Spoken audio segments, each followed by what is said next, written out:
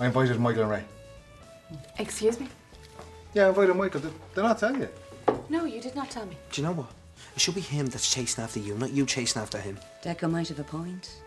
I Had a dream last night that he was missing me and he called out to me and I wasn't there. Nothing I could do.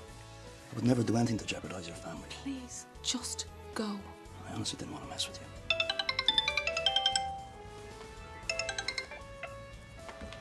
Hello?